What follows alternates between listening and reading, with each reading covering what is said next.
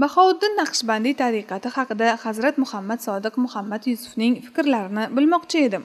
Shuningdek zikr nimaligi haqida va ruhiy maqomlar latoiflar xususida ham.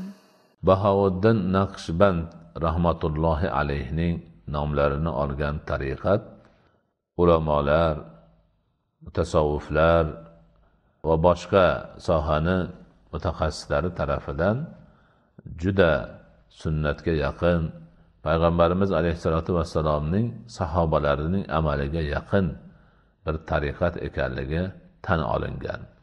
Bu e, demak fikrlar bu gaplar e, bir necha kitoblarda o'z ifodasini topgan ilmiy gap hisoblanadi. Lekin ana shu ilmiy gaplarni tuzliroq o'rganadigan bo'lsak aslida bahovuddin naqshband nomini olgan naqshbandiya tariqati o'zining asl mohiyatida payg'ambar alayhissalotu vassalomni sunnatlariga sahobai kiromlarni amallariga eng yaqin tariqatdir.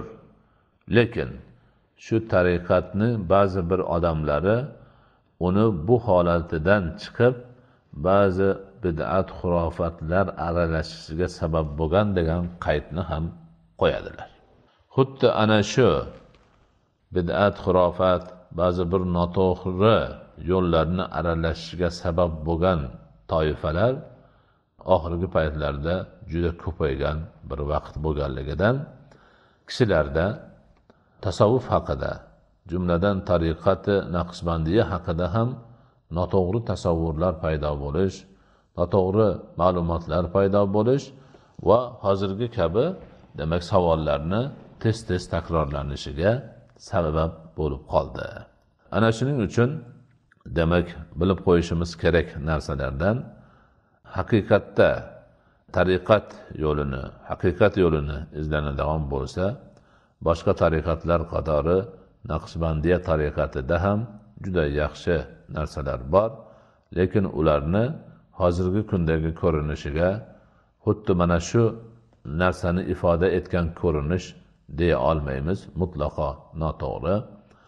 Shuning uchun tasavvuf haqida ilmiy yo'nalish qur'oni karim payg'ambarimiz alayhissalotu vassalomning sunnatlari sahobai ikromlarning amallari va buyuk ruhiy tarbiya ustozlarini demak ko'rsatganlari asosida tasavvufga ilmiy ravishda qaytadan nazar solishimiz va uni turli bid'at xurofat noto'g'ri fikrlardan amallardan gap so'zlardan tozalab olishimiz lozim bo'ladi.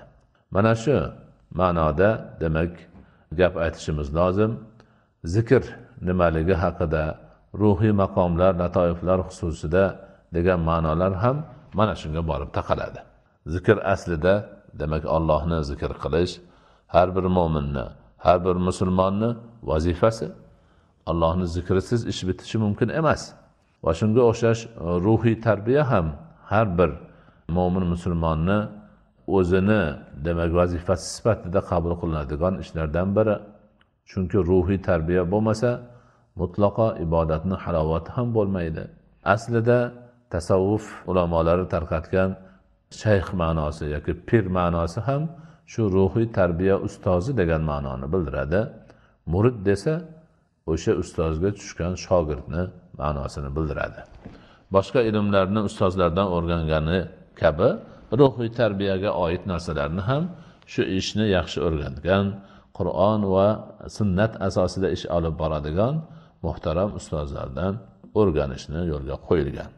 Bu masala hozirgi kunda dolzarb masalalardan biri bo'lganligini e'tiborga olib man ojizona bir harakat qilib tasavvuf haqida e, mana shu savollarni qayta qayta takrorlanganligini e'tiborga olib bugungi kunimizdagi voqelikni e'tiborga olib qo'ldan kelganicha qur'on va sunnat asosida buyuk mushtahid ulamolarimiz tariqat ahli ruhiy tarbiya ustozlari kitoblaridan foydalangan holda bir kitob yozgan edim. Bu kitobni inshaalloh bosishga demak izn ham bor. Duo qilib turasizlar. Yaqin kunlarda bu kitob ham chiqib xalqimizni qo'liga yetsa mana shunga o'xshash ba'zi bir savollarga javob topilar degan umidimiz bor.